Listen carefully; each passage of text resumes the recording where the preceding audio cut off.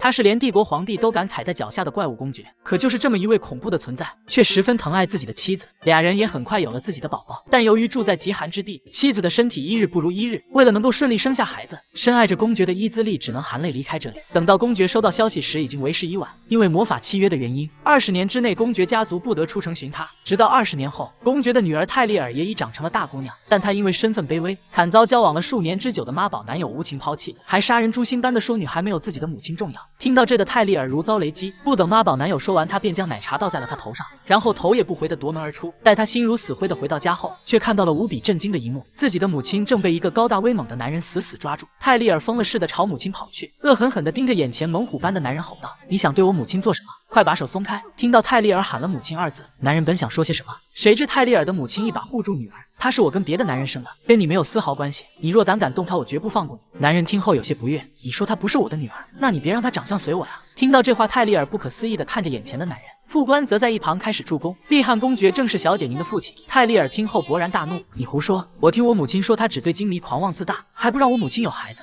最终母亲迫不得已带着我离开。他就是个垃圾。”此时公爵的手腕竟被泰利尔抓得生疼。完，句句都是大实话。副官的幸灾乐祸气得公爵牙痒痒，他一把拉开泰利尔强有力的小手，解释道：“都是道听途说，我以后会给你解释的。”终于，泰利尔向母亲抛去询问的目光，没想到母亲突然异常激动起来：“不是的，泰利尔，你父亲早就死了。”公爵闻言厉声打断：“你当他傻吗？拉希德！”母亲激动的脱口喊出了公爵的名字，这一喊让公爵十分高兴：“谢谢你还记得我的名字。”说完，直接给母亲来了个老年公主抱，千言万语我们以后慢慢说。这波狗粮拌饭吃的泰利尔属实有点饱。就这样，泰利尔的身份瞬间比前男友高出了百倍。等母女二人坐上马车后，强大的老父亲直接使出超位魔法，硬生生开出一条回家的通道，把母女俩带回了自己的领地。之后，泰利尔才得知，原来父母当年仅仅只是因为一个误会才分离，纯粹就是因为一个没长嘴，一个没长耳朵。而后又因为俩人刚见面时曾定下一个魔法契约，只要母亲离开领地，父亲的家族二十年内不得追踪。结果母亲为了顺利生下我，连夜逃出领地，完全忘了契约这件事，这才有了母亲憎恨父亲二十年未曾寻她的这一误会。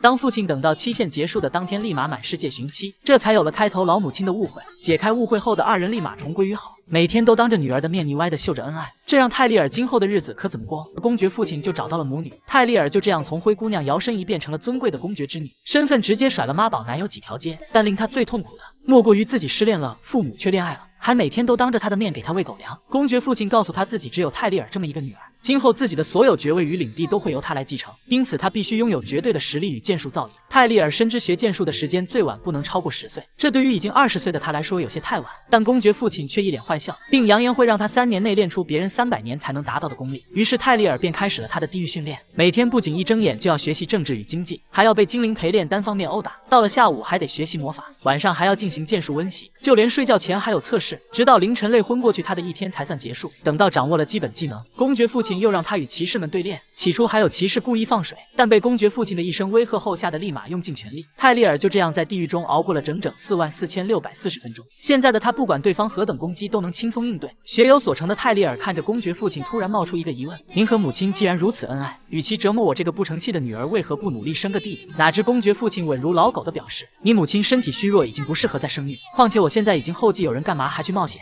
没想到泰利尔自嘲的表示自己天赋不足，可能无法胜任。听到这话，公爵父亲不怒自威：你竟然还有闲工夫担心着呢？看来这训练强度是我太仁慈了。从现在起，由我来亲自当你的陪练。泰利尔闻言恨不得抽自己俩嘴巴，自己怎么就这么多嘴呢？于是泰利尔又过上了地狱加倍的日子。公爵父亲的残忍更让他相信了那句：父母才是真爱，而他只是个意外。训练结束后，骑士怀疑他以前是否学过剑术，可泰利尔表示以前的生活条件根本学不起。骑士听后直夸他有天赋，结果泰利尔误以为是在夸自己挨打的天赋。紧接着，授课老师告诉泰利尔，他的各项学科都已毕业。泰利尔不可置信的愣在原地，这怎么可能？我的脑子没那么聪明，以前皇家管理测试我总是不及格。老师告诉他，皇家的腐败已经不是一朝一夕，用西布拉泰斯语来描述辉煌的荣耀毫无意义。泰利尔听后心中大惊，这道题可是最近皇城考的机密测试题。他终于明白自己的公爵父亲有多么恐怖。离别时，老师一脸欣慰的告诉泰利尔，您其实要提升的不是学识，而是自信心。现在的您可是北方的少主，一定记住自己是这个世上最尊贵的人，务必好好爱惜自己。这段时间能和您一起学习是我的荣幸。看着弯腰鞠躬、言辞恭敬的老师，泰利尔却傻傻的一句话都说不出来。他曾因为身份低微被侯爵男友嫌弃分手，哪知刚分手就遇到了前来寻亲的公爵父亲。泰利尔的地位瞬间让男友遥不可及。被公爵父亲带回去的他，经过了长达四万四千六百四十分钟的地狱训练，终于完成蜕变。此时的泰利尔已经具备了公爵继承人的资格。与此同时，公爵父亲把帝国皇帝昨夜被杀的事情告诉了他，并让他明天独自回首都。泰利尔大惊，为什么不是您亲自回首都呢？然而公爵父亲却表示自己要与他母亲过二人世界。可怜的泰利尔就这么被丢了出去。很快，新皇登基的消息便传了过来，还送来了宴会邀请函。一想到要回首都，泰利尔立马想起那个。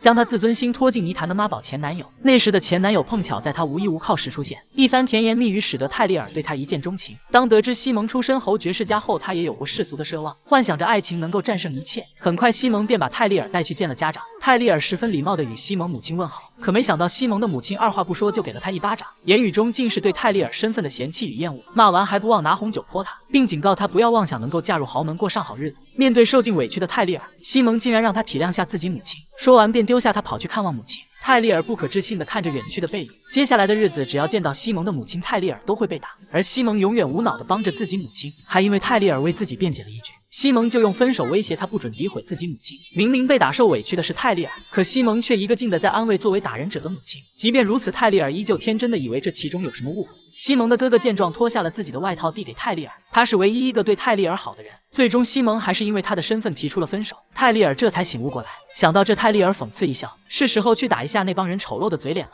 一旁的安道拉听后，开启战斗状态。只要您一声令下，我会杀光他们。果然，父亲的手下全是狠人。另外，安道拉告诉他，自从您走后不久，有人曾到您之前的住所找过您，是个二十出头的金发男子。经过跟踪，发现那人最后走进了戴夫里克侯爵府。泰利尔误以为是西蒙，他应该也会参加舞会吧？安道拉一听，立马拔剑。如果您不希望他参加舞会，那我去挑断他的跟腱。泰利尔赶忙劝他冷静点。就这样，泰利尔踏上了激动人心的打脸之路。不知道曾经那群嘲笑侮辱过他的人。看到他后会露出怎样的表情？当泰利尔乘坐的马车经过街道时，立马引起百姓的惊呼。对此，泰利尔十分不解。骑士告诉他，利汉家族可是整个帝国最强大的家族，已经几十年没出现在首都了。此次的突然出现，难免引起轰动。看着窗外绚丽的烟花，泰利尔感叹着新皇登基的隆重。到达目的地后，保安向他们讨要邀请函。当看到是利汉家族的继承人后，态度立马变得恭敬无比，并一路把他们带去宴会厅。随着保安高喊“利汉公爵府的小公爵大人驾到”，全场宾客无不震惊地看向大门。可当他们看到出现之人，竟是泰利尔后人都傻了，他是连帝国皇帝都敢踩在脚下的怪物公爵，可就是这么一位恐怖的存在，竟然为了与妻子过上二人世界，直接把爵位继承给了女儿。就这样，泰利尔被迫代替父亲参加皇帝的宴会。那个曾经被男友家人嫌弃、身份低微的灰姑娘，如今将以仅次于皇帝的身份霸气归来。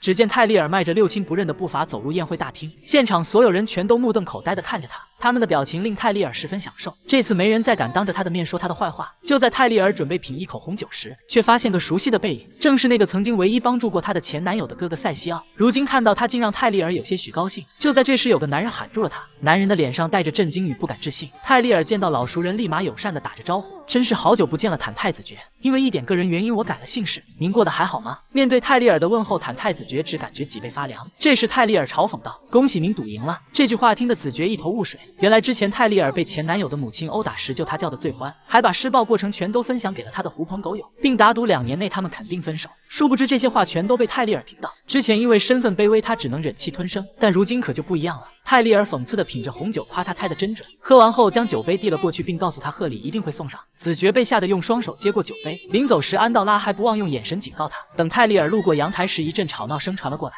泰利尔好奇地推开房门，却看到一个醉汉正在对塞西奥指指点点，言语中尽是难听的话语。可塞西奥却稳如老狗般的理都不理。看着还跟以前一样的塞西奥，泰利尔思绪万千。此时的醉酒男子依旧不停地在口吐芬芳，可塞西奥却小声嘀咕了一句：“跳下栏杆。”就在泰利尔好奇他为何要说这句话时，醉酒男子更加醉酒了，抬手就要打向塞西奥。就在这时，安道拉一把擒住醉酒男子的猪蹄，哪知醉酒男人的嘴依旧喋喋不休：“你又是什么东西？想替他挨打吗？”安道拉却回头看向泰利尔。随着泰利尔摆摆手，表示别打蛇就好。下一秒，醉酒男子被安道拉猛地拽住衣领，就像拖死狗一般将他拖了出去。今晚的体验可能需要他的一生来治愈。没了外人后，泰利尔正式与塞西奥打了声招呼，而塞西奥则慢悠悠地从怀中掏出笔和纸，并在纸上写下：“谢谢您出手相助，温特斯男爵小姐。”看到这，泰利尔解释自己已经不姓温特斯，现在他的名字叫泰利尔约翰，因为他找到了自己的亲生父亲。塞西奥听后只是淡淡一笑，并写下：“您看起来很开心，真是为您高兴。”泰利尔十分喜欢他这种平心静气的态度。随后，泰利尔又询问他是不是和西蒙一起来的。话刚说出口，他就后悔了，因为这话听起来就像对西蒙旧情难忘一样。塞西奥也没在意，只是淡淡的写下是跟他父亲一起来的。泰利尔心中讥讽，原来是那个把我当臭虫的戴夫里可侯爵大人。这时，保安突然高喊让大家安静，因为西蒙与他的新女友入场了。她曾是所有人眼中身份低微的灰姑娘，就连交往多年的男友也对她提出了分手。五年后，她成了所有人高攀不起的公爵继承人。三十年河东，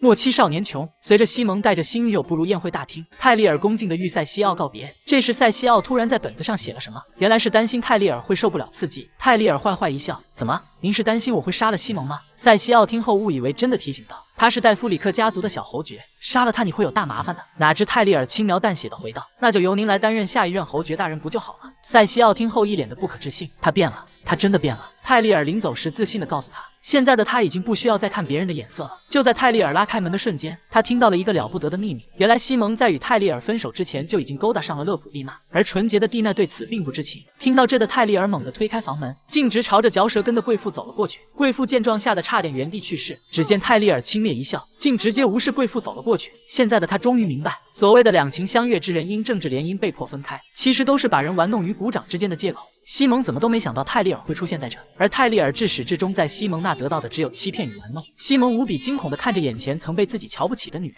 泰利尔则摆弄着身上昂贵的首饰，讥讽道：“这可是别的男人送我的。”当然，这个别的男人自然指的是他那坑女儿的老父亲。见西蒙与泰利尔说话，蒂娜立马嗔怪道：“萌萌，你不准跟陌生女人聊天。”西蒙见状冷汗直冒，蒂娜。你刚才不是说要找阿德文吗？蒂娜闻言有些生气的解释道：“我哥哥说不定又喝多了，你快说这个女人是谁？”当听到西蒙说是朋友后，蒂娜立马嘲讽：“你骗人！萌萌那么自恋，根本就没有朋友。”这话讲的西蒙老脸一红，突然蒂娜眼前一亮，这位小姐莫非就是利汉小公爵大人？西蒙见状刚想否认，不料泰利尔直接承认：“没错，我就是泰利尔约翰。”听到这，西蒙直接傻了。不等他从震惊中走出，泰利尔又接着问道：“格雷特公爵小姐，恕我冒昧。”能问你个问题吗？西蒙·戴夫里克是什么时候向你表白心意的？结果西蒙还没来得及阻止，纯洁的蒂娜就已经全盘托出。除了蒂娜，在场的所有人都知道了她脚踏两条船。看着西蒙惊慌失措的样子。泰利尔一脸讽刺道：“西蒙很清楚我为什么这么问，希望你好好问问我和他的关系。”话音未落，主持人突然打断，原来是皇帝与皇后入场了。她曾是所有人眼中地位低下的灰姑娘，就连交往多年的男友也向她提出分手。五年后，她霸气归来，成了所有人高攀不起的公爵继承人，就连皇帝见了她都得笑脸相迎。对于泰利尔能够参加宴会，皇帝显得十分高兴。面对皇帝的热情，泰利尔礼貌地与他行礼。泰利尔利用利汉城学的社交知识，完美的应对着皇帝。相谈甚欢的皇帝突然提议要举办一场狩猎大赛，趁着秋高气爽，大伙一起去享受享受。哪知泰利尔听后提不起半点兴趣，毕竟在北方的时候，这东西早就玩腻了。这时皇帝告诉他一个有趣的事情：此次狩猎可以将猎物献给心仪之人。他特别希望泰利尔小公爵能够赏脸参赛。泰利尔听后本想拒绝，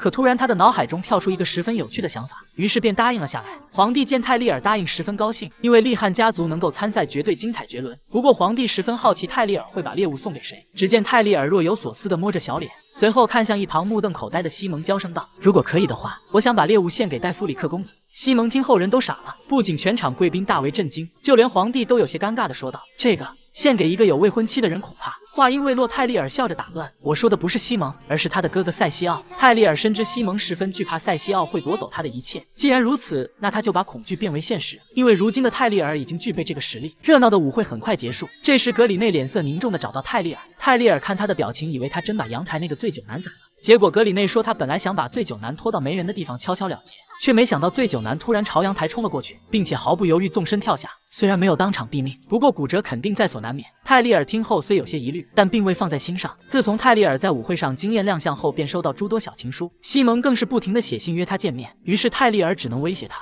如果再给他写信，就把信直接寄到他的未婚妻家里。空闲时间，泰利尔还整理了戴夫里克家族的大概情况。塞西奥与西蒙的矛盾还要从二十年前说起。那时的戴夫里克侯爵在临近结婚时，突然收养了一个不会走路也不会说话的孩子。正因为收养了这个孩子，导致侯爵的未婚妻愤怒悔婚，所以后来侯爵便与如今的侯爵夫人结了婚。可看不惯塞西奥的娘家人，便怂恿侯爵夫人除掉他，导致侯爵夫人二十年间内忧外患，备受煎熬，精神也越来越不正常。作为妈宝男的西蒙，自然也开始讨厌塞西奥。但更可恨的还。还是西蒙背地里对泰利尔做的事。他曾经告诉周围的人说自己只是把泰利尔当做妹妹，可泰利尔却拿他当恋人，无论他怎么拒绝都甩不掉。这话听得格里内杀意四起。小公爵大人，给我三天时间，他必死无疑。泰利尔见状，赶忙让他冷静点，因为他想到了更加有趣的复仇方式，让塞西奥夺走西蒙的侯爵之位，想必会十分有趣。不等格里内有所惊讶，泰利尔吩咐他立马给戴夫里克侯爵送封信，就说他要去见塞西奥，为了报复抛弃他的前男友，泰利尔决定攻略前男友的哥哥，并帮助前男友哥哥夺取继承人的位置。于是泰利尔立马让护卫给塞西奥送去约见信。令泰利尔没想到的是，塞西奥隔天就约见了他。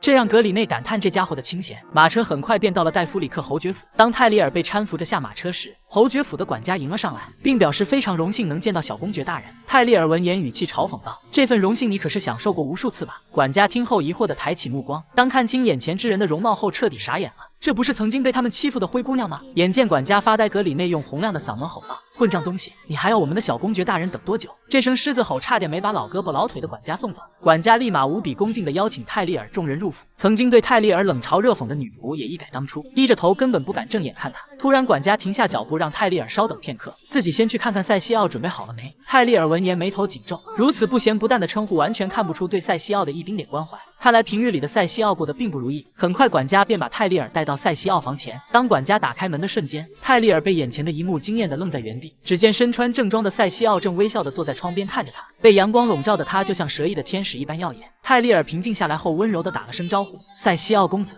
我们又见面了。”看着打扮帅气、准备写字回话的塞西奥，泰利尔不禁羞红了脸。今天的塞西奥还真是风度翩翩啊！想到这，泰利尔突然转头命令管家先下去，自己要跟塞西奥单独说会儿话。等房门关上后，泰利尔又环顾起了四周，房间内不仅有钢琴，还有塞西奥亲自画的画，这让泰利尔不禁感叹塞西奥的多才多艺。就在泰利尔认真欣赏着画时，突然发现了画板后的一本画册。塞西奥见状，小脸一红，激动的直接从轮椅上摔了下来。泰利尔见状，赶忙把他扶好，顺着塞西奥脸红的目光看去，泰利尔发现画。册上竟画着他的肖像，他不可置信的捡起画册，他的样子被塞西奥一笔一画勾勒的栩栩如生，看得泰利尔脸色通红。原来在他眼里，自己竟然这般温柔。塞西奥十分羞愧，开始写字。抱歉，如果惹您生气了，还请不要介意。泰利尔尴尬的表示自己没有生气，只是好奇塞西奥为什么要画自己。塞西奥闻言脸更红了，莎莎写下一段文字拿给他看，可塞西奥却不好意思正脸看他。当泰利尔看到本子上写着“因为您很美”后，愣在原地，然后俩人就跟热恋期的小情侣一样，全都害羞起来。泰利尔赶忙表示自己给他带了个礼物，说完拿出手帕递给塞西奥，因为他借给自己的手帕忘在了利汉城，于是泰利尔就去服装店精心挑了一块，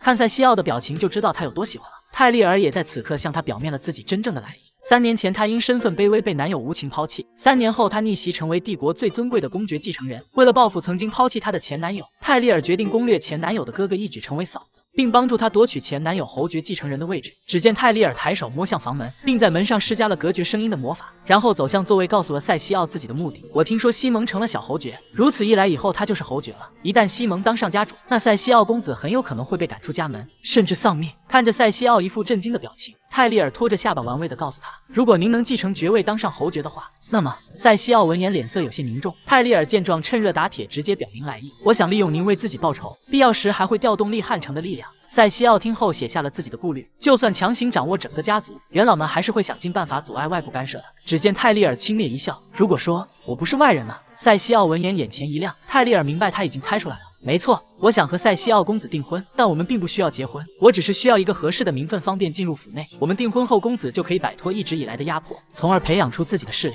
塞西奥闻言沉默了两秒，随后便拿起笔写出他的想法：“请给我一点时间，我不会让您等太久的。”面对塞西奥的反应，泰利尔微微一笑，这一切都在他的预料之中。完事后，泰利尔恭敬地与塞西奥告别，临走时还不忘提醒塞西奥把小本本烧掉。交代完一切后，泰利尔满意的离开了房间。看见格里内站在门口，泰利尔便询问他能否听见自己。与塞西奥的谈话，格里内表示什么都听不见。确定魔法有效后，泰利尔便叮嘱格里内回去的路上说。当走到楼梯口时，泰利尔突然停住，因为这里曾是他梦到的地方。梦到瘸腿的塞西奥站了起来，并救下差点摔下楼梯的自己。虽然是梦，但泰利尔总感觉那么的真实，以至于他十分在意这件事。三天后，塞西奥便传来回信，而这一次迎接泰利尔的是戴夫里克侯爵。泰利尔十分平常的与他打了声招呼，随后便径直朝屋内走去。他们走后，侯爵的脸色立马阴沉下来。厉害，你到底在耍什么阴谋？另一边，泰利尔单刀直入询问塞西奥考虑的如何。塞西奥先是感谢泰利尔的到来，随后便把自己的想法写了下来。一旦西蒙成为家主，我可能很难保命。本来我已经认命并自暴自弃，如今听了小公爵大人的提议，我还是做了这个自私的选择。我决定和小公爵大人订婚，请随便利用我，并助我登上侯爵之位。俩人就这样达成统一战线。不料一位女仆们都不挑，突然闯入，慌慌张张的表示自己拿错了茶具。泰利尔嘴上礼貌的表示没关系，心里却心知肚明，这些人为了欺负瘫痪的塞西奥，可谓煞费苦心，简直恶心透顶。结果不等他讲完，女仆便故意打翻了茶杯，滚烫的茶水直接洒在了塞西奥的腿上。泰利尔见状，赶忙替他擦拭，可塞西奥的表情却有些古怪。当泰利尔无意间摸到塞西奥的腿骨时，他愣住了，本来担忧的表情立马变得惊恐起来。眼见女仆还在这，泰利尔立马怒吼着让她滚出去。等到房间只剩二人后，泰利尔缓缓站起身子，并一脸惊恐地看向塞西奥：“你明明可以走路，但为什么？”要欺骗我？她本以为前男友的哥哥是个纯情温柔小白兔，如今却发现他竟是个货真价实的白切黑。只见塞西奥抬起右腿，一脸邪魅的翘着二郎腿盯着泰利尔。泰利尔被他腹黑的眼神盯得脊背发凉，他完全不知道自己被眼前之人欺骗了多久。即便他动用利汉家的情报网，也只找到塞西奥部分情报，而且情报上清清楚楚的写着塞西奥先天残疾，并且这种先天残疾是无法治愈的。那么这就表明塞西奥从小时候就已经开始伪装了。想到这，泰利尔大声质问着他：“回答我，塞西奥，你能说话对吗？”塞西奥闻言沉默了片刻，随后嘴角微微上扬，轻声道：“我虽然能走路，但并不能说明我可以说话吧？”泰利尔震惊了，果然如他所料，塞西奥就是一个彻头彻尾的腹黑大骗子。塞西奥感叹着利汉家族直觉的可怕，他大方承认的同时，希望泰利尔能忘记眼前的一切，这并不为难你吧，小公爵大人。随着话音落下，泰利尔突然身体一震，他捂着耳朵，企图隔绝塞西奥那带有魔力的话语，但巨大的痛苦令他瘫软在地。他深知塞西奥所使用的正是第一任皇帝独有的言灵魔法，这种魔法可以随意操控人去做他不想做的事情。最可怕的是还能篡改并消除记忆，但更可怕的是看视频不点赞的人将会被施以魔法。如果不想被控制，就艾特个倒霉蛋或留下狗头护体。而强大的泰利尔则强忍剧痛，使出冰系魔法进行反击。一瞬间，整个屋子都被冻住。这强悍的一幕直接把塞西奥看傻了。愤怒的泰利尔手握魔法，冷声道：“炎灵的确十分神奇，但你应该不只是为了让我开开眼吧？弟弟是个妈宝男风流鬼，而哥哥竟也是个彻头彻尾的大骗子。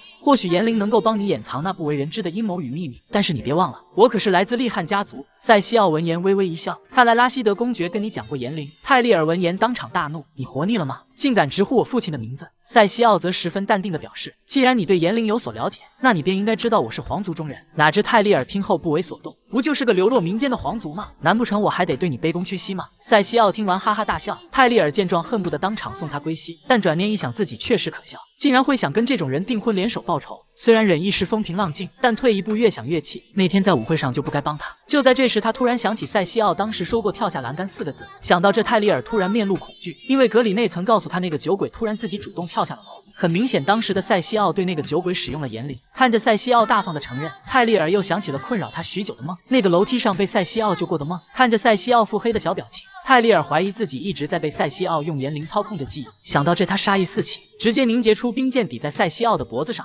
现在你可以说出你的遗言了。他本是个不能说话、不能走路的纯情小暖男，结果下一秒竟翘着个二郎腿，秒变白切黑。受骗的泰利尔抡起冰剑便抵在塞西奥的腰子上，哪知塞西奥非但不怕，还夸赞着这件真美。泰利尔也不多说废话，可就在他准备下手时，塞西奥突然发话：“如果当时我没在楼梯上抓住你的话，你或许现在就不会站在这里了。”泰利尔闻言心头大惊，俩人就这么对视了九千六百四十分钟后，塞西奥率先开口：“我自认为我对你有救命之恩。”泰利尔听后怒骂他是个大骗子。塞西奥闻言不怒反喜，那可是关乎我小命的事，又岂会骗你呢？泰利尔自知理亏，转而谴责塞西奥隐藏身份，打算与自己订婚。可他还是忘了订婚之事是他自己先提出来的。再加上塞西奥表示，如果我对你无意的话，是不会考虑和你订婚的。面对塞西奥猝不及防的表白，泰利尔的内心开始动摇，最终还是选择了相信他。面对如此善变的泰利尔，塞西奥也有些无奈。而赌气的泰利尔头也不回的朝门口走去，临别时还不忘说些嘲讽自己的话语：“你能配合我那可笑的建议，真是辛苦你了。”没想到塞西奥却假装没听见，还一脸期待道：“看来我只能等到狩猎大赛的那天才能见到我的未婚妻了。”看着满面春光的塞西奥，气不打一处来的泰利尔只丢给了他俩字：“你给我闭嘴。”结果当他打开门后，竟发现西蒙正堵在门口，并一脸怒意的质问泰利尔：“来这想干嘛？”这奇怪的垃圾话直接把泰利尔给听傻了。见泰利尔不说话，西蒙更加恼怒：“我问你为什么要来见塞西奥？”泰利尔闻言回头瞧了瞧演技满分的塞西奥，当看到他那一脸无辜的表情后，他再一次傻了。我去，你是表情管理大师吧？这变脸比翻书还快，不去做演员可真是屈才了。不过调侃归调侃。回过神来的泰利尔对西蒙冷冷道：“你在狗叫什么东西？我现在什么身份、什么地位，你心里没点数吗？”说完，便在西蒙傻眼的目光下头也不回的潇洒离去。哪知西蒙突然拉住他，急切的说道：“你真的要把猎物献给这个废物吗？我想我们之间一定有什么误会，不如我们坐下来。”不等西蒙说完，泰利尔应声打断：“够了，西蒙戴夫里克，我们之间已经没有任何关系。”看着西蒙那张恶心的嘴脸，泰利尔突然抓住他的衣领，猛地将其摁在墙上，怒吼道：“我如今既不是你的爱人，也不是你的朋友，我已经不再是从前那个泰利尔了，你懂吗？不管我因为什么原因来来找塞西奥，都和你没有半毛钱关系。还有，不要随便喊我的名字。”西蒙闻言有些恼怒：“好啊。”你现在找到亲生父亲就跟我摆架子了是吗？你不过是仗着利汉家族的势力，没了他们你一无所有。你有什么好嚣张的？不等西蒙说完，泰利尔直接给了他一巴掌。你不是也一样吗？你不过是个把父亲的地位当做个人荣耀的废物，凭你也敢叫我灰姑娘？这一巴掌直接把西蒙扇成了老年痴呆。不等他反应过来，泰利尔便怒气冲冲的转身离去，留下他独自风中凌乱。回家的路上，格里内关切的询问事情的进展。泰利尔只是晦气的表示谈判失败。格里内一脸疑惑，难道您不打算订婚了吗？泰利尔只能无奈的表示肯定。这时，格里内告诉了他一个不幸的消息，他的公爵老父亲跟母亲打算趁着围猎大赛前来探望他。一想到那对爱撒狗粮的老夫老妻，泰利尔就无语，于是转移话题询问格里内有没有挖到关于塞西奥的消息，可得到的答案依旧没有任何消息，这不免让泰利尔怀疑起侯爵收养塞西奥的动机。无论如何，他们都要小心谨慎，因为泰利尔能预感到侯爵一定有个巨大阴谋，或许不久后首都将迎来一场可怕的腥风血雨。你敢相信眼前这个人畜无害的轮椅少年，竟是个不折不扣的白切黑皇子吗？与泰利尔分别后，塞西奥便茶不思饭不香，还告诉保镖自己皇子的身份已经暴露，而且是泰利尔摸自己大腿时被发现的。想歪的保镖听得面红耳赤，这真的是我不付费就能听的吗？但令他费解的是，即便塞西奥施展了言灵魔法，也不会因为被摸摸大腿就破功了呀。塞西奥听后表情十分严肃，通过这件事让他更加清楚利汉家族人的可怕，因为言灵对他们根本不起作用。保镖听后更加疑惑，难道三年前您从楼梯上使用言灵救他，他都没有一丝怀疑吗？塞西奥摸着沟巴陷入沉思，因为这才是泰利尔的可怕之处。三年前的他还没有任何能力，可如如今却已经成长到一个无法想象的地步。保镖听后建议尽快铲除，可塞西奥却表示绝对不能招惹利汉家族的人。刚刚说的话切不可再说。保镖闻言赶忙道歉，很明显塞西奥对泰利尔有着些许意思。而另一边，泰利尔收到了老父亲的来信，示意泰利尔在自己抵达首都前一定要耐心等待，订婚之事切勿轻举妄动。面对老父亲的霸道，泰利尔早已习惯，只是他的来信跟母亲那满满当当两页纸比起来，简直是天壤之别。其次，还有一封来自塞西奥的信，信封上还写着“致我的未婚妻”，内容是还想再见泰利尔一面。面对如此厚颜无耻之人，泰利尔毫不犹豫将信撕成两半，并嫌弃的丢入火中焚烧殆尽。很快到了围猎大赛这天，泰利尔骑着战马缓缓来到赛场，结果塞西奥冷不丁的出现拦住了他，这可把泰利尔气得不轻。只见塞西奥拿起小本本写道：“等到今天你都没回信，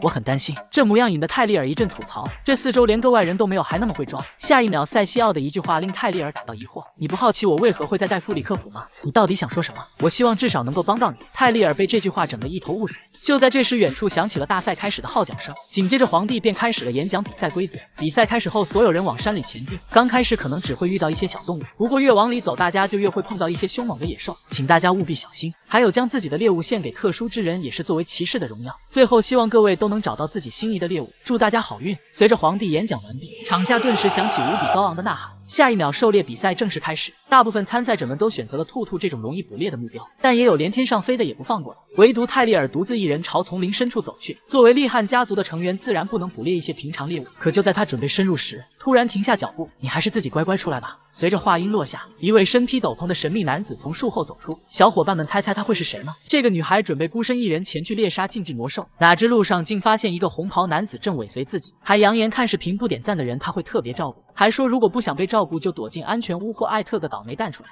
当看到红袍下的人竟是西蒙后，泰利尔的眼神立马冰冷下来。你是来送死的吗？西蒙见状赶忙解释道：“我错了，但是我做的一切都是为了母亲，我没有办法。虽然在跟你交往的同时还结交地，那是我的不对，但你也不能去见那个家伙呀。你一定是因为生我气才故意气我的，对不对？”泰利尔闻言就像看一个白痴一样看着他，眼神中充满了不屑与厌恶。请你不要误会了，我见不见西蒙跟你有关系吗？西蒙自知理亏，开始支支吾吾。那那个，我母亲说了。话音未落，泰利尔怒声打断：“又是母亲，又是母亲！你的母亲到底有多么了不起？难道你就没有自己的想法，非要去当一辈子妈宝男吗？”西蒙被泰利尔骂得青筋暴起，咬牙道：“不准你侮辱我的母亲！就算是你，我也绝不轻饶！”听到这话，差点没把泰利尔逗笑。哟呵，那我倒要看看你是怎么个绝不轻饶法。不过，好像只有更厉害的一方才有这个发言权吧？西蒙被泰利尔的威压吓得动都不敢动，而且既然西蒙主动送上了门，那泰利尔自然不会轻易放他离开。看着快要被吓到尿裤子的西蒙，泰利尔虽然没有杀他的打算，但也要让他吃吃生活的苦。就在这时，泰利尔身后的草里发出异响，随即传来一声甜甜的呼喊：“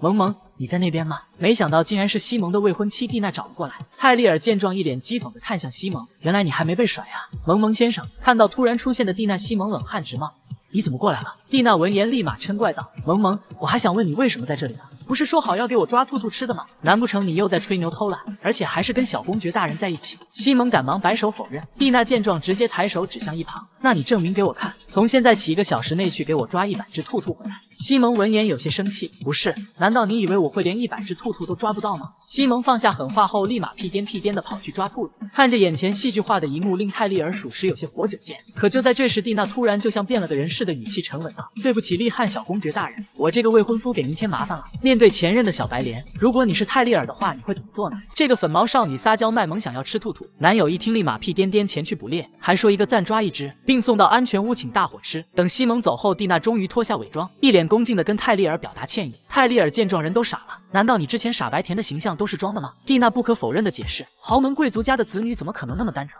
我只是装傻充愣，假装一无所知，这样才能抓住机会。泰利尔闻言有些不解：机会？你到底想图谋些什么？蒂娜如实告诉他：其实西蒙刚开始接近我的时候，我就知道他有恋人了。泰利尔误以为这是蒂娜在向他挑衅，蒂娜则出言否认，说出了真相。正好相反，我希望多少能够稍微缓解一些小公爵大人的怒火。所以在你发现之前，特意前来负荆请罪。我需要在门当户对的家族中找一个不大聪明，也不受塔尼塔尔公爵掌控的男人。虽然我选错了，泰利尔听后有些不解。那你继续装作毫不知情，好好生活不就好了？蒂娜则表示自己不能一辈子都戴着面具生活。她很庆幸泰利尔能来参加这次狩猎大赛，并十分真诚地表示，如果不是偶然遇到你，我也不会有机会提前和你谢罪。虽然你讨厌西蒙，但请你对我手下留情。就算你想让我们解除婚约，我也会照做的。泰利尔听后并未生气，反而告诉他解除婚约之事自己并没兴趣，只要蒂娜以后不要找自己麻烦就行。最后还提醒他西蒙是妈宝男这件事。哪知蒂娜一脸平静地表示自己很清楚这件事，随后便转移话题询问起泰利尔与塞西奥结婚的事。泰利尔闻言微微一愣：“你这话是什么意思？”蒂娜平静地解释：“因为您说要把猎物献给他。”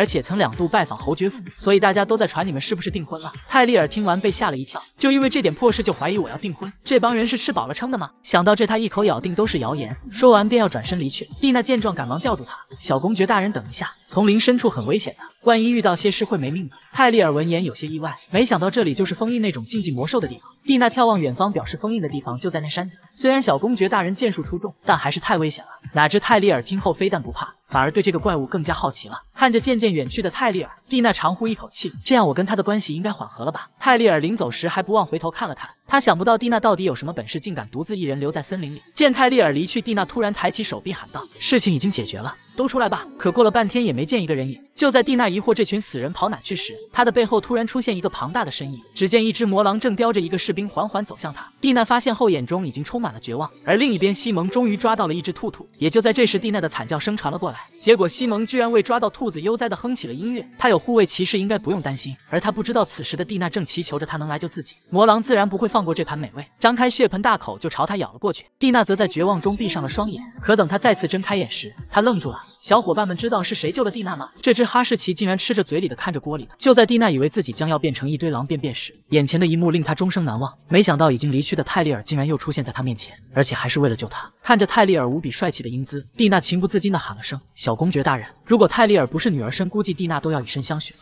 这时解决了魔狼的泰利尔转头嘲讽道：“我看你独自留在这里，还以为你有什么了不起的本领呢。”但看到沾满鲜血、浑身颤抖的蒂娜，他又心软下来。对不起啊，让你身上溅到血了。面对泰利尔的关心，蒂娜有些不知所措。自己明明是抢他未婚夫的情敌，可他却不计前嫌的救了我。这也让蒂娜更加坚定了不能招惹利汉家族的决心。另一边，侯爵正与一名神秘男子讨论着蝎尸魔兽的事情，还商量着要把塞西奥当成蝎尸的第一顿美餐。神秘男摇晃着酒杯，调侃起塞西奥的身世。当年那个女人对陛下虚情假意，还偷偷生下了塞西奥。如果先帝陛下生前知晓此事，该有多愤恨啊！原来神秘男已经派人支开了塞西奥的贴身保镖，并把塞西奥带去了封印蝎尸的地方。士兵看着咆哮连连的山顶，很明显这是蝎尸即将突破封印的征兆。只见他缓缓拔出长剑，并毫不犹豫在自己手腕处割上一刀。剧烈的疼痛令他眉头紧锁，炽热的鲜血也从他手上快速滴落。原来他想献祭自己，引出些尸，并把塞西奥一并除掉。随着邪气大量涌现，一只巨大的黑影赫然出现在山顶，就连天空也因为他的出现变成了血红色。另一边抓到兔子的西蒙终于赶了回来。可当他看到满身鲜血的蒂娜与死去的魔兽后，吓得当场愣在了原地。当西蒙看到远处的蒂娜正一言不发地盯着自己后，大惊失色。刚刚到底发生了什么？看着西蒙手足无措的样子，蒂娜感到一阵心寒。可是那又能怎样呢？她只有这么一条活下去的路。下一秒，她两眼含泪的叫了声“萌萌”，然后说完，猛地扑进西蒙怀中，大哭起来。你不知道我刚才有多害怕，我第一次见到这种猛兽。西蒙见状，愤怒地看向士兵：“我明明安排了护卫，你们就这么办事的吗？”说完，拿起木棍，缓缓走向士兵。塞西奥、泰利尔他们看不起我。竟然连你这样的东西也瞧不起我！说完，便在士兵绝望的目光下，举起木棍狠狠砸了下去。西蒙的残暴加上士兵的惨叫，令蒂娜眉头紧锁。而此时的泰利尔已经打入森林内部，数不清的魔兽被他斩于剑下，而他自己也消耗了大量体力。即便如此，他依旧没有停下前往山顶的脚步。为了利汉家族的荣耀，他必须猎杀蝎尸魔兽。另一边，士兵因为失血过多，已经昏了过去。塞西奥也在此刻渐渐苏醒，随着一道可怕的身影掠过天空，蝎尸魔兽瞬间来到塞西奥的跟前。殊不知，即将苏醒的塞西奥竟然梦到了自己的母亲，随着一只手抓住他，梦中的母亲竟变成了泰利尔。塞西奥一脸惊讶地看着他。下一秒，竟露出诡异的笑容，睁开双眼，面对传说中的禁忌魔兽，他没有一丝害怕，甚至淡定的微微一笑。看来我的运气还不错嘛。话音落下，蝎尸兽毫不犹豫张开血盆大口朝他咬去。危急时刻，一把冰剑瞬间洞穿了他的身体。这只魔兽尝试第一次不穿肚兜出来觅食，只一眼便喜欢上了眼前帅气的男子。谁能打出这个字，我把手机吃了。于是便张开血盆大口，想把它吞入腹中。哪知下一秒，一条百米长的冰剑直接给他来了个冰镇小心肝。一人一兽同时看向月色下的身影，只见原配手握利剑，怒吼道：“你这头相貌丑陋的怪物，还不给老娘滚！”说完，恶狠狠地瞪了嬉皮笑脸的未婚夫一眼，脸色凝重的在手上凝结出螺旋丸。虽然不知道这个怪物为什么会跟塞西奥在一起，但当务之急必须尽快铲除它。随着魔兽一声怒火。下一秒，猛地朝泰利尔冲了过去。泰利尔明显没料到这头庞大的魔兽速度竟能如此之快，但是已至此，他也只能迎战。当利剑刺入魔兽体内的同时，泰利尔也被魔兽的尾巴狠狠抽飞，力道之大，直接把岩石砸出一个大洞。好在泰利尔的身体强悍，只是重伤，这也多亏了他那慈祥老父亲的魔鬼训练。而另一边，丑陋的魔兽已经来到士兵身边。塞西奥看着移情别恋的魔兽，眼神中充满了愤怒。此时，一旁重伤的泰利尔正不停咳嗽抱怨：如果不是因为坑女儿的老父亲和硬要让他参赛的皇帝，还有愚蠢的西蒙跟可恶的塞西奥，他又怎会如此辛苦？想到这，泰利尔将手摸向利剑，然后摇摇晃晃地站起身子，看着魔兽将地上的士兵抓起，即将塞入口中补充体力。泰利尔明白，绝对不能让他得逞。下一秒，一把利剑从空中划过，直接给拥有绝世容颜的魔兽整了个容。趁着魔兽元气大伤，泰利尔抓住机会飞速靠近他。反应过来的魔兽朝泰利尔发出怒吼。电光火石之间，泰利尔高举利剑跳向空中，不等魔兽有所反应，便狠狠将利剑刺入了他的脖子。可即便如此，依旧没能解决魔兽。去死吧！随着冰冷刺骨的话语从泰利尔口中输出，他的利剑立马发出耀眼的白光，并在塞西奥惊讶的目光下，直接将魔兽冻成了一根老冰棍。完事后，泰利尔回头看向塞西奥，一会儿这头魔兽我得带走，所以现在你能给我一个合理的解释吗？这里的烂摊子到底什么情况？看着从魔兽背上跳下的泰利尔，塞西奥无奈的笑道：“我想不用我说，你应该也能预料到吧？”泰利尔闻言幡然醒：“你是说戴夫里克家族的骑士把你带到这里，然后骑士为了引出魔兽，选择割腕自杀？”只见塞西奥长呼一口气，表示肯定，他的眼神中充满杀意，但也只是转瞬即逝。看着从地上站起后的他，泰利尔微微一愣，之前一直坐着轮椅，我都没怎么注意，没想到他站起来后居然这么高。想到这，泰利尔害羞的转过了头，随后看向倒在地上的骑士，疑惑道：“这人到底奉了谁的命令，举止竟然如此疯狂？”塞西奥表示很有可能是自己养父做的。泰利尔闻言有些不解：“你为什么不反抗呢？”塞西奥听后傻傻的笑了。既然他是家主手底下的骑士，一定本领高强。再说我我现在的人设可是个残废，自然无法逃跑喽。而且我的运气一向很好。看你这不是来救我了吗？看着泰利尔有些无语的表情，塞西奥突然微微一笑。为了感谢你救我，我给你看一个很神奇的事情。这个男人想给未婚妻一个惊喜。下一秒，他的手上发出耀眼光斑，只见骑士受的伤正以肉眼可见的速度开始恢复。随着塞西奥微微一笑，重伤的骑士猛地咳出一口淤血，活了过来。这一幕看得泰利尔无比震惊。看着骑士即将苏醒，塞西奥立马停下治疗。一旁的泰利尔摸着下巴，惊得亚麻呆住。虽然血迹还在，但伤口已经完全愈合。可骑士身上的血迹令他们犯了难，要是能下场大雨冲洗掉证据就好了。想到这，塞西奥抬头望向天空，哪知下一秒天空乌云响起惊雷，紧接着便下起了瓢泼大雨。骑士身上的血渍很快被冲洗干净。看着电闪雷鸣的天空，塞西奥朝泰利尔微微一笑，随后便想再招个龙卷风出来玩玩。泰利尔一听，瞬间炸毛，快住嘴！你到底想干嘛？说罢便抬手想将塞西奥的嘴巴给捂住，哪知因为地滑冲的太猛，泰利尔一个踉跄，整个人扑通一声压在塞西奥身上。只见塞西奥突然握住泰利尔的手，难道我希望你能爱上我？说完便握着泰利尔的手深情一吻。泰利尔被这猝不及防的操作整得有些傻眼，反应过来后立马抽回自己的小手，怒骂道：“登徒子，你这是做什么？”塞西奥闻言愈加温柔的看向他，真是遗憾呐，我的魔力对利汉家族的人根本没用。泰利尔听后恼羞成怒，别再跟我开玩笑了。哪知塞西奥嘎嘎一笑，反问泰利尔：“如果你早就知道在这里的人是我，还会过来救我吗？”听到这，泰利尔的心咯噔一下，随后低下头表示依然会救。说完，他赶忙转移话题，指向被冰封的魔兽：“如果你不介意的话，帮我把它化开吧。这个样子我没办法带下山。”可就在这时，昏迷的骑士有了动静。二人见状，皆是一愣。泰利尔率先反应过来，快速跑向轮椅，然后猛地把塞西奥摁回轮椅上，整个过程行云流水，无比丝滑。见塞西奥发出疑问，泰利尔赶忙做了个噤声手势。下一秒，骑士猛地睁开双眼，起身后无比震惊地看向自己愈合的伤口。可当他看到凭空出现的泰利尔与毫发无伤的塞西奥后，直接傻眼了。利汉小公爵为什么会在这？还有你怎么还活着？泰利尔闻言有些不悦，你竟敢直呼我为小公爵！你这个骑士跟西蒙一样毫无规矩，确实是戴夫里克家的风格。说完便转头看向远处被冰封的魔兽，看你这么牛掰，难道比这个家伙还厉害？当骑士看到被冻住的禁忌魔兽后，直接傻了。这这怎么可能？不等他从惊恐中恢复，泰利尔接着问道：“现在我们可以聊聊你叫什么了吗？”话音刚落，骑士立马说出自己的名字叫布鲁奈莫德。可当泰利尔询问起怒后主使者是谁时，骑士突然紧闭牙口，不愿多说。泰利尔见状，拿出红色小药瓶，不紧不慢地问道：“布鲁奈，你知道这是什么吗？”骑士明白这是最好的魔药，而泰利尔却哄骗他说自己用这瓶药治好了他，还告诉他如果戴夫里克侯爵见你任务失败后还毫发无伤，下场会如何，自然不用多说。这时，骑士发现泰利尔脚边有把匕首，他毫不犹豫扑过去想要抢夺，不就是几道伤口吗？我再重新划几刀就好了。结果下一秒就被泰利尔轻松制服。当他还想起身继续时，泰利尔的利剑顿时抵在了他的脖子上。如果你不老实交代，我自有办法直接去找侯爵，并告诉他你已经把他要杀自己儿子的事情全部招供。哪知听到这，骑士赶忙下跪祈求：“求您了，千万不要这么做！如果让他知道我没有服从命令，他就会杀了我妻子。”泰利尔闻言顿时大惊，紧接着布鲁奈抓着泰利尔的裤脚，祈求他能救救自己妻子。看着为了妻子连命都不要的布鲁奈，泰利尔还是犹豫了。小伙伴们觉得泰利尔会帮助布鲁奈吗？这个男人为救妻子，竟甘愿向一个女人下跪祈求，即便为此需要付出宝贵的生命，他也在所不惜。原来不久前侯爵想让他杀了自己儿子，却被他当场拒绝。为了让他乖乖听话，侯爵直接派人控制了他的妻子，只要他敢违抗命令，那等待他的将会是一具冰冷的尸体。为了救妻子。他即便牺牲自己生命，也要完成任务。听到这的泰利尔无比震撼，他怎么都想不到侯爵竟然如此残暴。骑士还告诉他，被这样威胁的人还不止他一个，那些曾经被派出去执行任务的，没有一个能活着回来。这时泰利尔询问他想不想摆脱这样的命运。骑士听后泪如雨下，他想，他做梦都想着能跟妻子过上平静安宁的生活。他再次请求着泰利尔能救救他妻子，只要能救他妻子，他什么都愿意做。泰利尔听后沉默了下来。虽然他为了一己私利想杀了无辜的塞西奥，但那股子疼爱妻子的真情却难能可贵。于是泰利尔低头询问骑士：“如果我有办法救你还有你的妻子，让你做什么你都愿意吗？”得到肯定后，泰利尔告诫他：“从现在开始，我说的每句话你都仔细听好。你为了引诱魔兽打算挥刀自残，却不料魔兽被我降服。我见你行迹可疑，想要追你，而你却在逃跑途中不慎掉下悬崖。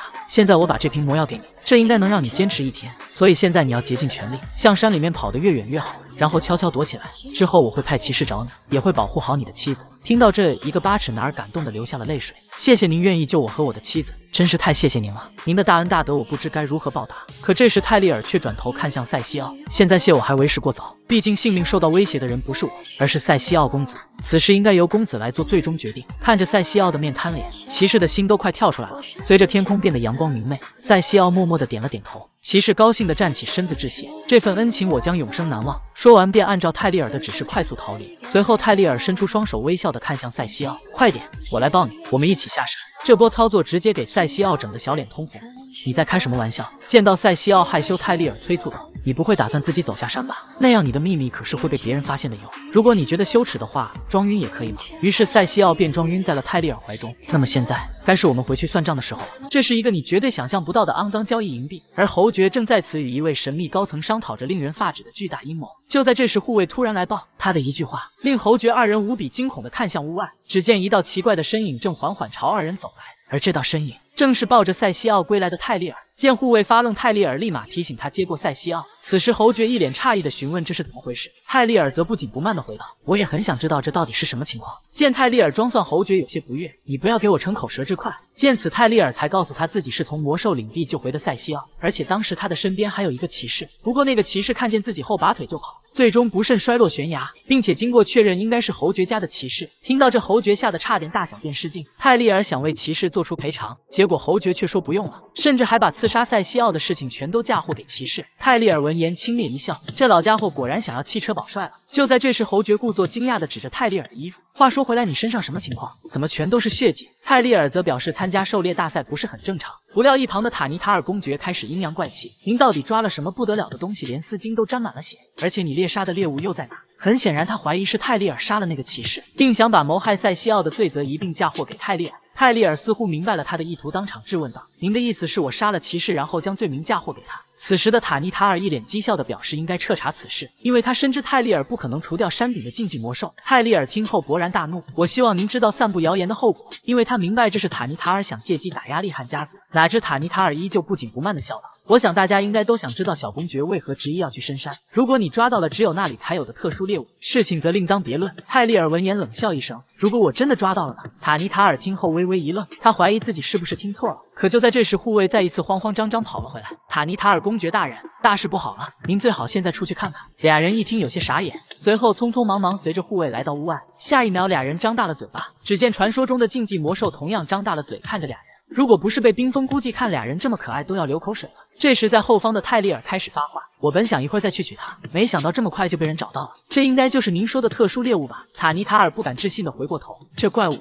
真的是你杀死的吗？”这只女孩第一次光膀子出门就被人做成冰雕，看着男人兴奋的小脸，泰利尔面露嘲讽之色：“我今天本想去山顶抓些凶猛的魔兽，可没想到竟遇见了这么个家伙挑衅我。照理说，这只禁忌魔兽应该是封印的才对，难不成是有人故意解除了他的封印吗？”听到这，侯爵二人明显开始慌乱。泰利尔以为俩人不相信，想把魔兽放出来。塔尔公爵虽然很不甘心，但怕死的他还是是放起了彩虹屁。利汉小公爵年纪轻轻就如此厉害，不愧是利汉家族的未来继承人。泰利尔听后十分满意的大步离去。他参加围猎大赛本想着捉弄下西蒙，可没想到事情竟然发展成现在这样。看着正在享受嘘寒问暖的塞西奥，泰利尔就这样默默的站在一旁。塞西奥发现后，朝着泰利尔微微一笑，俩人心照不宣，可心里却美滋滋的。这时格里内冷不丁的突然冒出，然后就这么呆呆的看着泰利尔，一声不吭。相比之下，塞西奥那边的护卫嘴巴就没停过，于是强烈的攀比心从泰利尔心底冒出，笑眯眯的询问问格里内有没有什么话想对自己说。结果格里内根本听不懂他在说什么。下一秒，泰利尔彻底破防，我是问你有没有话要对我说，比如很担心我，或者问我是否平安。我可是利汉家的人，这待遇跟塞西奥差的也太远了吧。于是格里内极其敷衍地问了声：“您没事吧？”就这样，泰利尔彻底败了。紧接着，格里内便告诉他自己来这是有急事上报。说完，便拿出一封来自北方的信递给他。泰利尔见状，彻底愣住，因为回来的路上，塞西奥曾告诉他不久后北方会有来信。没想到塞西奥的话竟然是真的。泰利尔猛地回头看向塞西奥，他严重怀疑塞西奥是不是有千里眼。但很显然，这只是炎灵魔法的其中一个能力。看着塞西奥慢慢远去，泰利尔这才看向信件的内容，原来是北方遭到了袭击，一群恶徒深夜闯入城内，企图绑架泰利尔的母亲。虽然他们并未得逞，但公爵夫人还是受了伤，所以公爵暂时无法前往首都。经侦查，那些绑匪大多是北方人，不过所用招数却混杂着首都的剑法，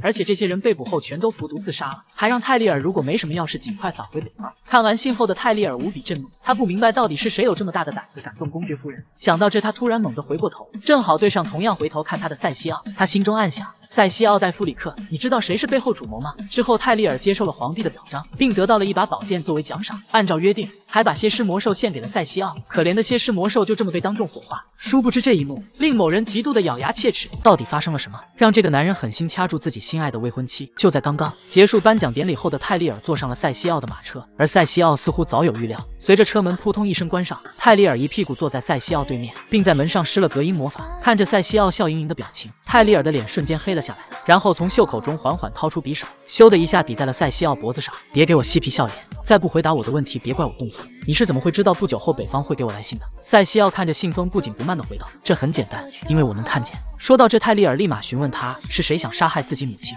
塞西奥闻言低下了头：“塔尼塔尔公爵。”塞西奥的直接令泰利尔有些意外。这时，马车外的护卫正趴在窗户上想偷窥点什么，突然一道身影悄然出现在俩人身后。喂，你们在这里做什么？还不快滚！格里内的出现吓得护卫直喊妈。而马车内的塞西奥正一本正经讲着塔尔公爵想要在帝国境内一手遮天、为所欲为的野心。泰利尔不理解为何要告诉他这些。塞西奥表示这是取得双方信任的交易条件。泰利尔闻言有些疑惑：难道你给我可靠的证据就是为了得到想要的信息吗？哪知塞西奥立马否定：不，我不需要你付出什么代价，只要你信我就好。而我想要的只有戴夫里克家族。难道你不想要皇位吗？泰利尔有些不解。塞西奥却表示还不到时候。泰利尔闻言这才反应过来，毕竟侯爵的阴谋已经暴露，如果继续待在侯爵府，他很可能随时丧命，而且炎灵有使用限制。现如今对塞西奥来说，保命才是重中之重。这时塞西奥突然眼神坚定地表示：“所以就按照你之前的提议，和我订婚吧，泰利尔。只要我如愿成为戴夫里克侯爵，就会和你解除婚约。”泰利尔听后微微一笑：“你这是不是有点狮子大开口了？但我的线索不是相当可信吗？”塞西奥无比自信地回道。泰利尔也不废话，表示自己有办法帮他。说完便向格里内讨要魔法协议。塞西奥见状有些意外，没想到你竟然会随身带着这个东西。泰利尔打开协议的同时，告诉他想反悔已经晚了。说完便让塞西奥在协议上签名，因为魔法协议是辨别谎言最有效的方法。只要塞西奥撒一句谎，便会在签名的瞬间命丧黄泉。随着塞西奥自信一笑，毫不犹豫挥笔写下承诺。塞西奥莱温阿诺斯绝不加害泰利尔厉害，契约完成的瞬间发出金光，随着塞西奥伸手说了句抱歉，下一秒猛地掐住泰利尔的脖子。这突如其来的一幕令泰利尔当场愣住，而契约也在此刻爆发金光。塞西奥瞬间被一股恐怖的力量所镇压。泰利尔见状，赶忙让塞西奥用炎灵说反悔。塞西奥强忍剧痛，艰难地使出炎灵救了自己。这波测试也说明了协议能够限制炎灵。泰利尔终于相信了他的话，并准备签下协议。哪知塞西奥不让他签，并笑着表示：“这次交易我是获益者，而且我知道你就算不签协议也会遵守约定。”面对塞西奥的信任，泰利尔选择恭敬不如从命。这时塞西奥突然表示自己还有一件事，说完便在协议上又添几笔。对于本次交易，塞西奥阿诺斯绝不欺骗泰利尔利汉任何事情。写完后，塞西奥缓缓开口：“要绑架你母亲的是哈伊塔尼塔尔。”随着诅咒并未生效，泰利尔明白塞西奥说的都是真的。紧接着，塞西奥笑眯眯问他什么时候跟自己求婚。这猴急的行为惹得泰利尔大发雷霆，但最后还是败给了这个厚脸皮的家伙。他是个本不该降生的生命，却来到了这个世上。人们都说他是借助神力才创造出来的孩子。因为他的父亲根本没有生育能力，而他的母亲莫奈克却拥有神力。评论区又出新特效了，输入长知识会出现大奶酪，输入抱抱艾特你的好朋友还会有惊喜哦！就在他许愿想要个孩子的瞬间，他便怀上了塞西奥，而他还是先皇卡特利的亲姐姐。也正因为他的神力，令先皇处处提防着他，不愿让他繁衍子嗣，就怕生下的孩子也拥有神力，从而夺走他的皇位。过分的是，莫奈克竟听从了先皇的命令，打算与丈夫一起把塞西奥送走。让别人来收养他，男人甚至还把生活的艰苦全都怪罪在塞西奥身上，而塞西奥的母亲却冷漠的默许了这一切。在送往的途中，塞西奥兴奋的让爸爸妈妈一起看星星，结果他们却冷漠的坐在一边一声不吭。母亲让他从现在开始不要再说话，还骗他只要坚持五年就会带他回家。年幼的塞西奥一脸纯真的不解这句话的意思。很快，马车便驶入一家庄园内，而这里正是侯爵的府邸。当时塞西奥才四岁，根本无法接受当时的情况。虽然感到痛苦万分，但他还是遵守了和母亲的约定。他用尽全力没让自己哭出声来。本以为只要这样，母亲就会改变心意，可母亲甚至到最后都没有给塞西奥一个温暖的眼神。而侯爵表示，想让他收养塞西奥，必须答应他一个条件，那就是挑断塞西奥的脚筋，因为只有这样，他才能更好的控制塞西奥。对此，塞西奥的母亲选择了默认。曾经，母亲对塞西奥温柔多情、爱护有加，可自从母亲开始出入皇宫后就变了，甚至离开时都不愿多看塞西奥一眼。即便面对如此冷漠的母亲，塞西奥依旧坚守着与母亲的约定，不管多害怕、多无助，也没有说出一句话，只是绝望地看着缓缓远去的母亲与父亲。而这一切，全是因为先皇卡特利。就这样，戴夫里克侯爵挑断了塞西奥的脚筋，从此便在侯爵府开始新的生活。指责、轻蔑、嘲笑。玩弄成了他生活的日常，而这一切全是因为忌惮他神力的先皇所赐。那时的塞西奥发誓必定会让先皇付出代价，直到某一天他被告知先皇卡特利被暗杀，一瞬间他活着的意义烟消云散，他不知道以后该依靠什么活着。可就在他迷茫之时，泰利尔带着对西蒙的仇恨找到他，想利用他报仇。也正是因为泰利尔的提议激起了他的兴趣，反正自己的报仇计划已经泡汤，不如就陪他一起复仇。毕竟除此之外，他已经没有其他活着的理由了。当自己养了二十多年的白菜被猪拱了后，你知道是什么感觉吗？就在泰利尔享受着难得的懒觉时，格里内唰的一下拉开窗帘，这种被迫起床的感觉，想必小伙伴们一定有过亲身体会。就比如泰利尔一样，立马躲进被子里死活不起。随着格里内告诉他今天有重要客人求见，泰利尔这才偷偷钻出被窝。可当他看到格里内背后站着的身影后，被吓得猛地从床上弹起，因为他慈爱的老父亲来了。看着一副慵懒样子的泰利尔，老父亲不由得开始吐槽起来：“这才几天没见，你真是越来越懒了。看来得给你安排些康复训练了。”泰利尔闻言青筋暴起：“您知道我这些天都是怎么过的吗？竟然一句关心的话都没有！”看着老父亲还想当键盘侠，泰利尔赶忙打断询问自己母亲的状况。哪知一提到母亲，老父亲立马来了精神，并表示他也跟来了，正在休息。果然，父母才是真爱。而孩子只是意外。片刻后，老父亲终于表明了此次的来意。他已经确切收到了北方有一伙谋反者的消息，而且正是这帮人想要绑架泰利尔的母亲。想到这，他突然话锋一转：“对了，女儿，本来我派你过来只想让你露个脸，可我怎么听说你马上就要跟一个奇怪的家伙订婚了？而且今天还要跟他求婚。更重要的是，他还是戴夫里克家的人，那种家伙压根就没有资格成为利汉家的女婿。”看着老父亲一副要吃人的表情，泰利尔赶忙将自己与塞西奥之间的交易，还有这段时间的所有经历全都告诉了他。当老父亲听完后，却陷入沉思：一个曾经的皇子，竟然只想要区区侯爵爵位，这让他不免有些怀疑。不过，既然宝贝女儿没什么意见，那他自然也没什么意见。而且，为了这个未来的姑爷能在侯爵府站稳脚跟，还给泰利尔提了一个套路满满的建议，这让泰利尔都有些不好意思。隔天，他便坐着马车前往侯爵府求婚。路上，他拿出了之前筹备订婚计划的戒指，还问格里内有没有带玻璃瓶。哪知格里内二话不说，拿出一瓶装满腐蚀性毒药的玻璃瓶，这让泰利尔大跌眼镜。你怎么随身携带这么危险的东西？不过说归说，他还是接过了玻璃瓶。格里内还是忍不住好奇，询问他打算用玻璃瓶做什么。正所谓天机不可泄露，泰利尔只告诉他自己要用一个玻璃瓶创造一个奇迹。你知道有个连皇帝都害怕的怪物老爹有多少吗？就连曾经看到泰利尔就要扇他的侯爵夫人，如今再见时却被吓得瑟瑟发抖。欺软怕硬这个词被侯爵夫人表现得淋漓尽致。看着强装镇定的侯爵夫人，令泰利尔微微一笑。就在他想继续斗斗时，侯爵突然打断，并让泰利尔以后不要再来找塞西奥。泰利尔对此表示疑惑，可侯爵却冠冕堂皇地说是为了塞西奥好。泰利尔闻言冷冷一笑：“我觉得侯爵大人没资格这么说，因为当事人已经答应跟我订婚了。”此话一出，侯爵当场大惊，急忙转身询问塞西奥真相。当看到塞西奥默默点头后，侯爵夫人也傻眼了。而泰利尔则不紧不慢地表示自己今天就是来求婚的。哪知侯爵当场大怒：“你不要再胡说八道了，路都不能走的塞西奥如何能跟你结婚？”话音刚落，只见塞西奥拿出神仙药剂放在桌上：“我今天就要给你创造一个奇迹。”殊不知，在刚刚来的路上，泰利尔已经将瓶里的毒药倒了个精光，然后拿起一瓶老夫山泉，将其来了个偷天换日。他想用水来给侯爵夫妇一个大大的惊喜，而那个惊喜就是让塞西奥重新站起来。侯爵夫妇听后显然有些不信，见俩人被唬，塞西奥强憋着不让自己笑出来。这一幕看得泰利尔心中暴怒，你丫的可千万别笑出来！这时侯爵一本正经的让泰利尔再念一遍药水的名字。随着瓶盖砰的一声打开，泰利尔告诉他，这瓶仙液叫老夫山泉，有点甜，是一位住在北方雪山上的高人毕生所制。说完便拿着药瓶缓缓走向塞西奥，并蹲下身子准备给他治腿。治疗前还让侯爵夫妇回避一下。侯爵虽有些不信，但迫于泰利尔的背景，还是乖乖出了门。随着俩人离开，泰利尔立马在房门上施了隔绝魔法。现在没人偷听了，你可以开口说话了。一会我把水涂抹在你的脚踝上。这样你以后就能放心站起来走路了。毕竟要想成为侯爵，缺陷自然是越少越好。说罢，泰利尔便开始挽起塞西奥的裤腿，并让他不用再装下去了。看着为自己忙前忙后的泰利尔，塞西奥露出了无比甜蜜的笑容。可这个笑容在泰利尔看来，却令他莫名火大，因为塞西奥在嘲笑泰利尔临时给药水起的名字。泰利尔看他那么高兴，也没在意，反而起身准备给他个小惊喜。只见泰利尔缓缓蹲下身子，然后将早已准备的戒指递给塞西奥。敢问在座的男同胞们羡慕了没？塞西奥则毫不客气地伸出小手，当戒指戴上的刹那，塞西奥扶着轮子缓缓站起，然后一把拉住泰利尔的小手，与他跳上了一支优美的舞蹈，并利用炎灵魔法创造出魔法阵。顷刻间，花瓣飘落，芳香四溢，俩人的感情也更进了一步。紧接着，泰利尔便拿起老夫山泉，准备继续演戏。毕竟演戏得演全套才行。涂抹中，泰利尔告诉他，等惊喜派对结束后，需要他做一件事。塞西奥温柔地询问什么事。当听到要跟泰利尔回去见老丈人后，塞西奥整个人都傻了。泰利尔则告诉他自己父母已经来到首都，而且点名要见见他。塞西奥听后却沉默了下来。泰利尔也感觉有些急了，毕竟他们还没正式订婚，现在就让他去利汉府的话，肯定会让他觉得很没面子。于是泰利尔笑着表示，只是跟自己父亲见个面。就在塞西奥想要开口回答时，侯爵夫人突然破门而入，可眼前的一幕直接令他傻了眼。就在泰利尔与塞西奥感情迅速升温时，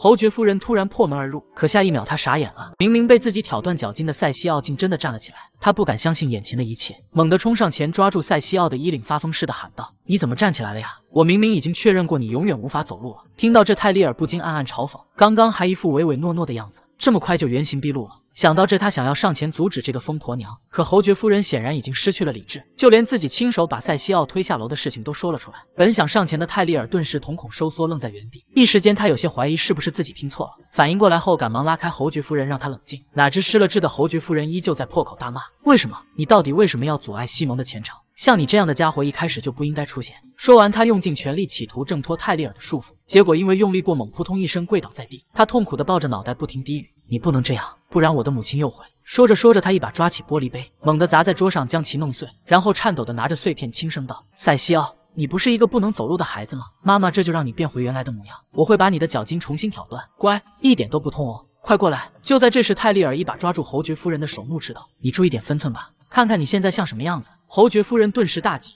你快给我放手！我要让一切重回正轨！”泰利尔听后显然有些不耐烦，一把夺过碎片摔落在地，并指责着侯爵夫人的愚蠢行为。可下一秒，他却成了侯爵夫人的目标，朝着泰利尔咆哮起来：“我曾经那么相信你，相信你会爱西蒙一辈子。”说完，扬起手就要打下去，哪知泰利尔竟默默地闭上眼。随着一声响亮的巴掌声，塞西奥竟代替泰利尔接下了这一巴掌。看着塞西奥脸上的伤痕，泰利尔大惊失色，而侯爵夫人却在一旁嘲笑起来：“哎呀！”你还挺懂事的，本来这一切就都是你塞西奥的错，你替他挨打也是应该的。谁让你又能站起来了？结果侯爵夫人骂着骂着突然哭了起来，然后无力的跪倒在地。随着一阵急促的脚步声，西蒙带着愤怒冲了进来：“混蛋！你们对我的母亲做了什么？”泰利尔见状深知头疼了，而西蒙第一时间跑去安慰了母亲，同时他也发现了一旁站着的塞西奥，看着曾经坐在轮椅上的人竟比自己还要高大，西蒙竟不自觉地颤抖起来。这时侯爵夫人站起身喊着西蒙，西蒙这才发现自己母亲的手受了伤。就在他想要对塞西奥动手时，泰利尔一声大喝打断了他，并警告他离自己未婚夫远一点。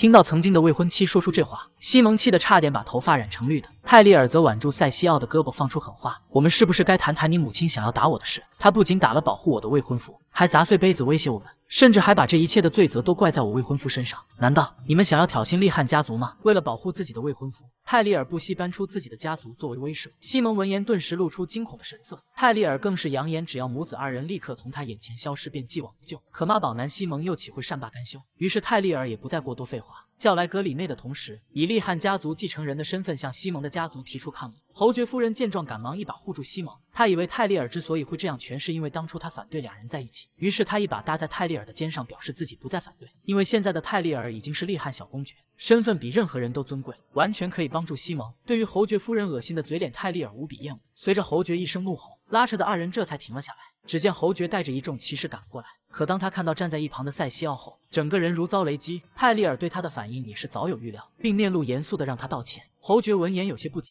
于是泰利尔便把侯爵夫人刚刚想打他耳光的事说了出来。这时西蒙突然站出据理力争：“你疯了吧？我母亲为何要道歉？之前打你不都不了了之了吗？你也说过会体谅我的母亲的。”泰利尔闻言冷声道：“泰利尔温特斯确实这么说过。”可泰利尔利汉却不这么想。西蒙听后明显一愣，见泰利尔不好欺负，于是将矛头指向塞西奥。反正挨打的是塞西奥这个家伙，这是有必要道歉吗？对于这种妈宝垃圾男，泰利尔终于忍无可忍，怒斥道：“如果你不能亲自跪求原谅，那就给我闭嘴！”见西蒙还想多说，侯爵立马让他闭嘴，并亲自向泰利尔低头道歉。事已至此，西蒙只好忍气吞声。见人全部到齐，泰利尔便跟大家宣布了一件事，那便是要带着塞西奥去利汉府住一段时间。哪知侯爵听后当场反对，并表示还没结婚就带回家，简直荒唐。可当泰利尔说出是自己父亲想见时，侯爵的表情立马变得惊恐无比。就这样，泰利尔拉着塞西奥大摇大摆的大步离去，留下了还没走出恐惧的侯爵一人。透过侯爵的神情，泰利尔再次体会到了自己老父亲的强大实力。回家的路上，泰利尔询问塞西奥为何不用炎灵魔法给自己疗伤，塞西奥只是淡淡的表示自己有些累了。于是泰利尔便打开箱子翻找起来，边将药水滴在手上，边让塞西奥把脸凑过来。刚开始塞西奥还有些不好意思，但又有哪个男人能顶住温柔体贴的女孩呢？看着眼前细心为自己擦拭伤口的女孩，塞西奥的内心也跟着渐渐融化。难道这就是被富婆爱着的幸福安全感吗？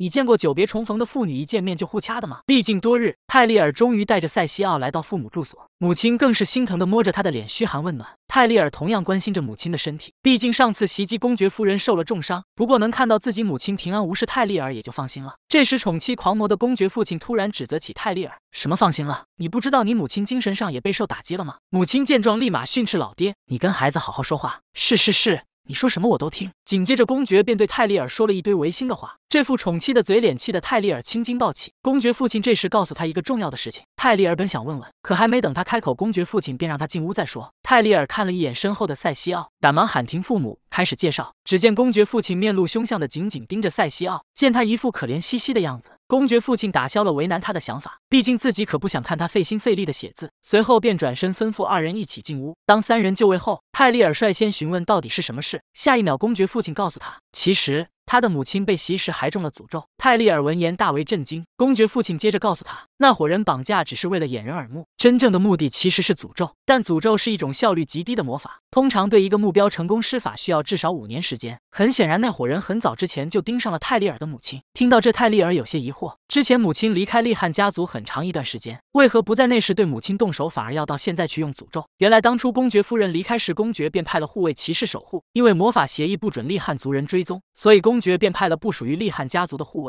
公爵父亲告诉他，曾有人给他送过一封书信，信上写着，如果想救妻子，就在信中的魔法协议上签名。而魔法协议便是让公爵不得插手首都事宜，雪城之外其他领地归还皇室，还要自行降级为伯爵。这霸王协议明显就是想断了利汉家族的羽翼。就在公爵读完信上的内容后，妻子的身上就出现了诅咒印记，紧接着开始浑身发烫，状态越来越差。泰利尔听后立马想到了塔尼塔尔公爵，因为只有他一直觊觎着利汉家族的一切。但令人不可思议的是，诅咒只持续了几秒就消失了。这话令泰利尔。尔大吃一惊，如果不是施法者自行撤回魔法，或者被诅咒之人拥有超强神力的话，诅咒是无法消除的。说到这，泰利尔突然一愣，很明显，公爵父亲看出了他的发现，转头看向塞西奥，问道：“这一切都是你的伎俩吗？”见塞西奥不吭声，公爵父亲直接拆穿了他：“别装了。”我知道你会说话，没想到塞西奥直接承认，就是自己使用炎灵魔法治愈了公爵夫人。面对连帝国皇帝都害怕的怪物公爵，塞西奥不仅毫不畏惧，还大方的承认就是自己用炎灵魔法治愈的公爵夫人。利汉公爵听后，眼神嘲讽的看向他，怎么样，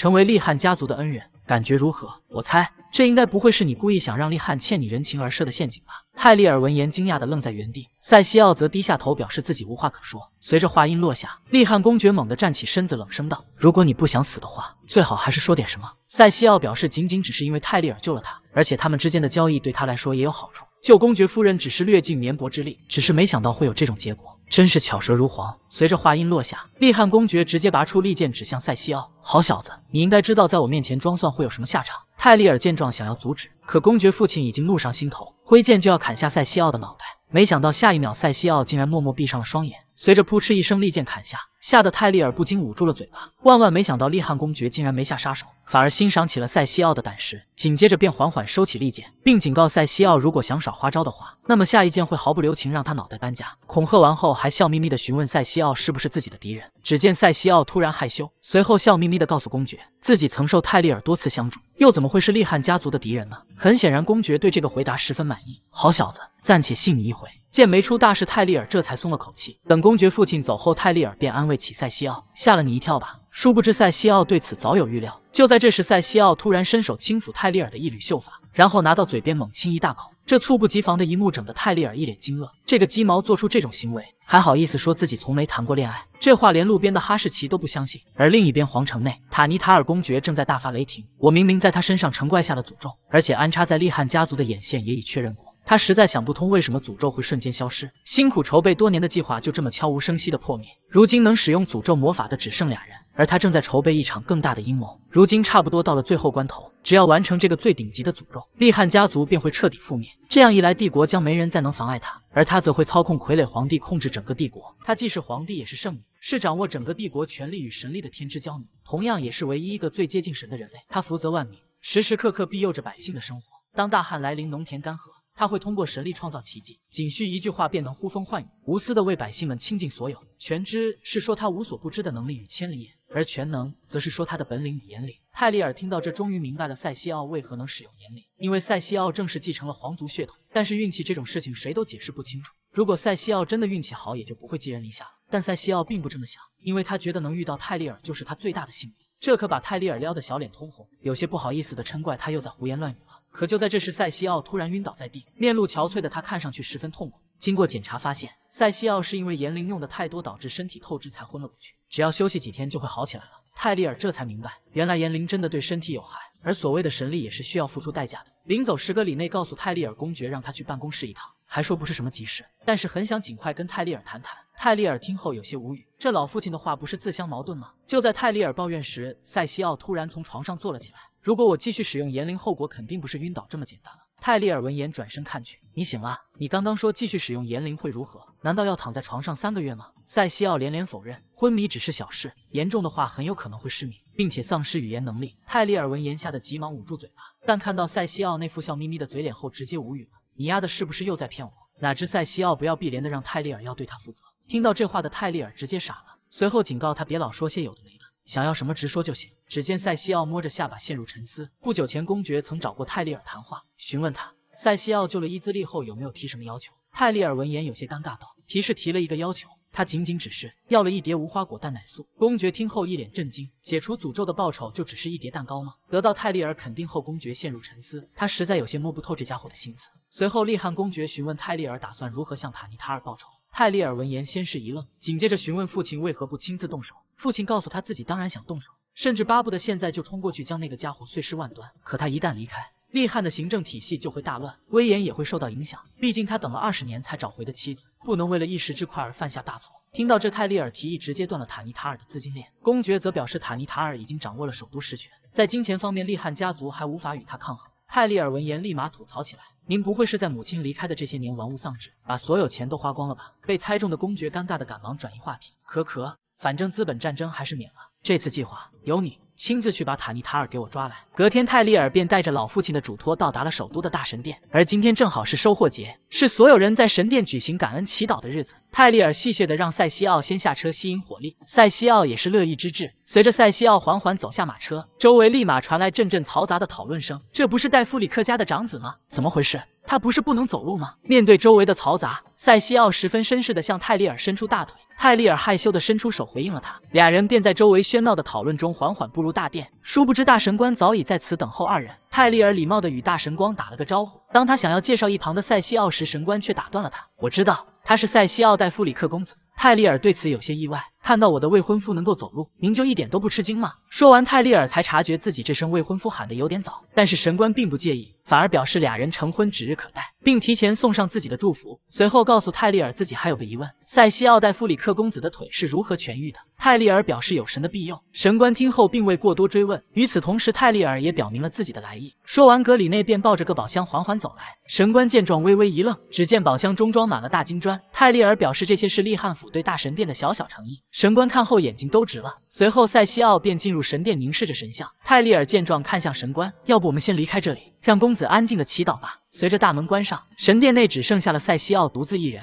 塞西奥看着神像，问出了多年来藏在心底的疑问：“您为什么要给我言灵的力量？为什么让我来到这个世上？卡特利是我活下去的目标，可您为何又要夺走他的生命？我因言灵孕育而生，获得了无上的力量，但我从未奢望得到这种力量。我的人生因言灵而毁灭，平生的报仇计划也化为了泡影。这种力量只有神一样的存在才能使用，所以我必须时刻保持善良。我很想马上摆脱这如同诅咒般的能力，可是在我登上皇位之前，我还离不开他，所以在那之前，我只能装。出一副善良的面孔，即便如此，我还是心存感激。泰利尔厉害，我原本只想帮他报仇，可现在真是越来越有意思了。但是我对他的感情也没有那么深。等到塞西奥出来后，神官再次恭喜二人订婚，并送上真挚的祝福。泰利尔感谢着神官，心中暗自窃喜。如今就连大神官都亲自为我们祈福，戴夫里克侯爵再想拒绝我们的婚事可就难了。就在这时，一名骑士高声呐喊，随着一声骑士团团长驾到，一位白发女子缓缓步入广场，并来到泰利尔二人面前。我可以占用你一点时间吗？